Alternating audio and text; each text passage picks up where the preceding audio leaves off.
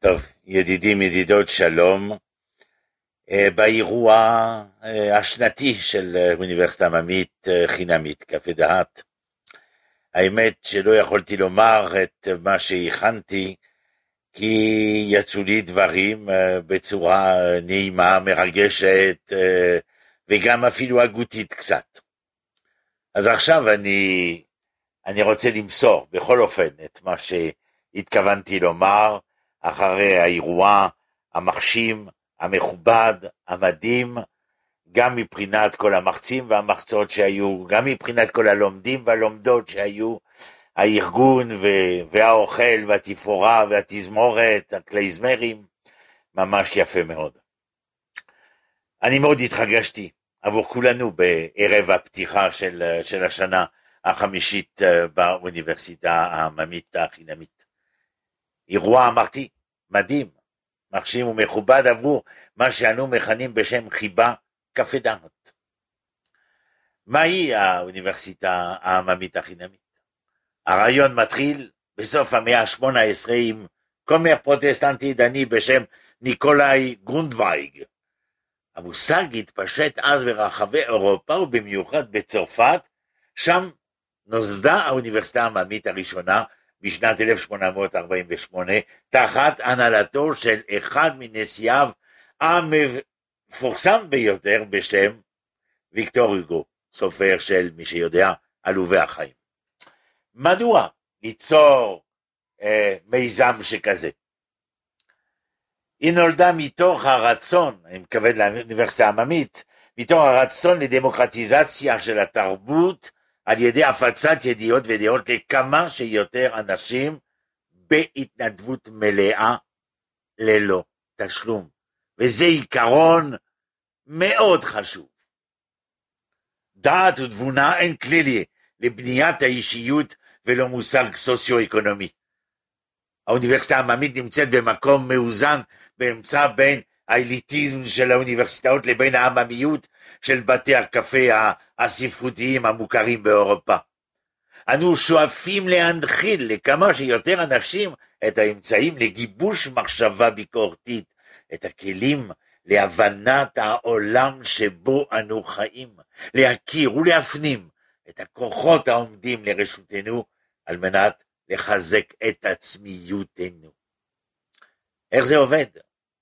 האוניברסיטה העממית החינמית שואבת השראה גם מהאקדמיה המסורתית, כביכול באיכות המידע המופץ. העיקרון הוא שכל אחד יכול לרכוש את הידע הדרוש להתקדמותו האישית בתחומים המעניינים אותו. יחד עם זאת, היא נגישה לכולם, ללא הבדל גיל, מין, דת, מעמד חברתי. המשתתפים מוזמנים לקחת חלק בדיון, לפתח נפש ביקורתית ולתרגל דיאלוג ככלי למפגש עם הדעת. מטרת האוניברסיטה העממית החינמית היא דמוקרטיזציה תרבותית, או במילים אחרות שיתוף פעולה של רעיונות, מחשבות ודעות שונות. תחילת הדרך התחיל בכיכר המוזיקה, ולאחר מכן ברחוב יעבץ בירושלים, בזכות ידידי היקר והנאמן מר לורן לוי. הקורונה הגיעה והמשכנו בזום עם כל הקושי הכרוך בדבר. אחרי שנתיים חזרנו לפעול פרונטלי במוזיאון ידידי ישראל, בזכות ידידי היקר, ניצב משנה בדימוס גדעון מור ומנכ"ל המוזיאון מר דניאל ווג'ק. מאז המיזם חזר לעצמו, עולר וגדל ומתעצם בזכות כל הלומדים והלומדות, אך בוודאי בזכות העזרה והפעילות בהתנדבות מלאה של כל הנוגעים בדבר. הזכרתי כבר את גדעון, מוזיאון ידידי ישראל, וכל הצוות, במיוחד אה, אייב, כל יום שני בבוקר שעוזר ו- ו- ומלווה אותי, אבל מטל, עדה, ג'ון וכולי. אי אפשר למנות את כולם.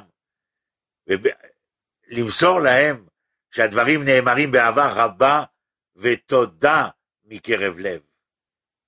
אתם מכירים, אם לא תכירו, יוסי ורחל כהן, בזכותם כיבוד הבוקר חי וקיים בנעימות, בשמחה ובאהבה.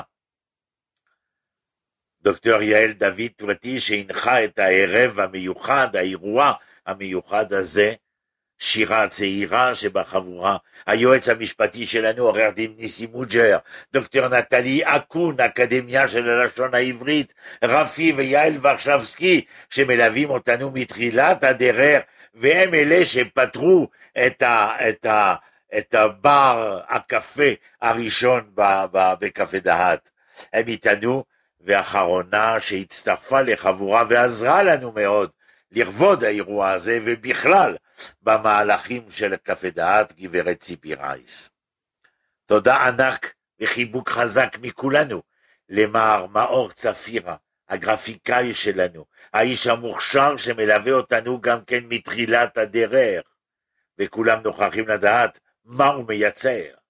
אותו דבר ממש למר שלום טייב, אחראי על הערוץ קפה דעת ביוטיוב.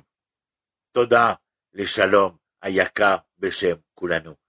ובסוף התודה בה' הידיעה מגיעה לכל המרצים והמרצות הבאים מכל מקום בארץ כדי להעניק לנו מחוכמתם, מבינתם, מדעתם.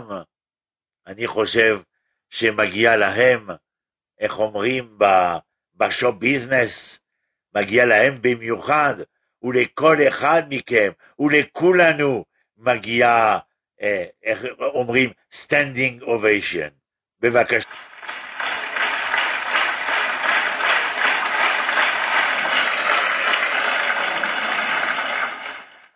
תודה רבה לכולם, ונקווה שהשנה החמישית הזאת במוזיאון ידידי ישראל תהיה פוריה ורבה, אבל בוודאי שהכל יתאפשר בנוכחות אותם לומדים ולומדות, כי המחצים והמחצות כבר מגויסים.